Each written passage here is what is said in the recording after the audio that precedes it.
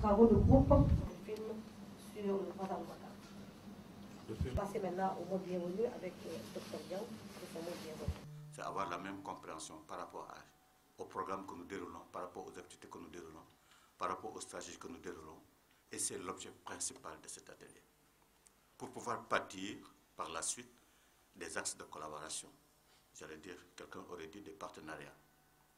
Donc, c'est en fait l'attente qu'on a de ces projets. Et durant cet atelier, il y a deux préoccupations principales. La première, c'est que les journalistes ici présents connaissent mieux les projets avec lesquels ils vont être en euh, contact, connaissent mieux aussi les stratégies développées par le ministère de l'Agriculture et de l'Équipement. Et comprennent aussi comment ces projets sont en train de contribuer à la réalisation des objectifs du PRACAS et qui dit PRACAS dit PSE. Donc, c'est les deux préoccupations principales. Connaître les programmes déroulés sur le terrain et comment ces programmes déroulés sur le terrain contribuent à la réalisation des objectifs du PRACAS et donc du PSE. Donc, c'est les deux objectifs principaux. Je vous souhaite un bon atelier. À défaut d'avoir un cas de l'ISRA euh, qui aurait en fait aurait été mieux appro- approprié que moi pour faire euh, le monde bienvenu. Donc je vous souhaite un bon atelier. Je vous souhaite aussi un bon séjour, même si c'est court à Dakar pour certains. Et que les discussions se déroulent dans la plus grande cordialité, comme l'a dit tout à l'heure Ben Là. On est entre nous. Donc euh, ça, ça doit être des discussions très relaxes, très franches. Et nous, on est à votre disposition pour vous donner le maximum d'informations. Mais je ne terminerai pas aussi sans saluer l'accompagnement du ministère. Parce que j'ai eu au moins deux rencontres avec les SG pour discuter de cette rencontre-là, en plus des courriers qui ont été échangés. Et à chaque fois, ces disponibilités et ouvertures qu'on a trouvées auprès du SG, avec des orientations aussi très claires.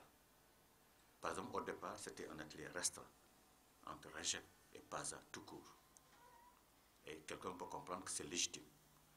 Mais sur les orientations du SG, il nous a été instruit d'élargir ça à d'autres projets. Et on a élargi ça à quatre autres projets au moins du ministère de l'Agriculture et de l'Équipement dont le PADAIR, le TRIAS, le PAFA Extension et le PDRS. Ils sont tous là présents, sauf pour le moment le PDRS. Ils ont un atelier à Ndayan et certainement la personne qui va les représenter vient de Ndayan. Donc, et ensuite, euh, c'est lui aussi qui nous a suggéré de donner plus de place au PRACAS. Et quelqu'un aussi peut comprendre pourquoi on doit donner plus de place, place au PRACAS, parce que c'est en fait le chapeau à dans lequel se logent tous les programmes opérationnels qui sont déroulés dans le, dans le truc. Donc voilà les quelques mots que je voulais dire pour ne pas être long, parce qu'il faudra qu'on gère bien le temps. En atelier d'un jour, ça passe très vite, donc il faut qu'on gère bien le temps. Et donc je vais m'arrêter là, encore une fois, en saluant tout le monde et en remerciant tout le monde. Et la séance, la rencontre sera présidée par M. Dien, qui est conseiller technique au niveau du ministère de l'Agriculture et de l'Équipement rural, et modérée par M. Abdourahmane Faye, qui est aussi du ministère de l'Agriculture et de l'Équipement rural. Encore une fois, merci et bonne discussion. Merci pour le Pazalou Magaf, mesdames, messieurs les directeurs de projet et coordonnateurs participants, chers confrères, distingués invités. Euh, Permettez-moi, en ma qualité de président du réseau des journalistes en charge des questions agricoles, à l'élevage, à la pêche et à l'environnement, de vous souhaiter la bienvenue dans ce haut lieu du savoir que l'Institut sénégalais de recherche agricole à l'occasion de cet atelier de réflexion d'échange sur le secteur agricole en général, en partenariat avec le Pazalou Mokaf et le REJAC.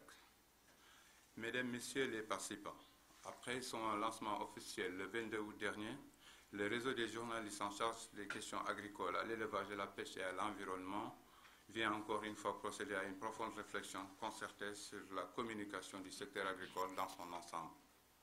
L'objectif de cette présente rencontre permettra à nos membres d'être bien, bien outillés sur certaines connaissances et notions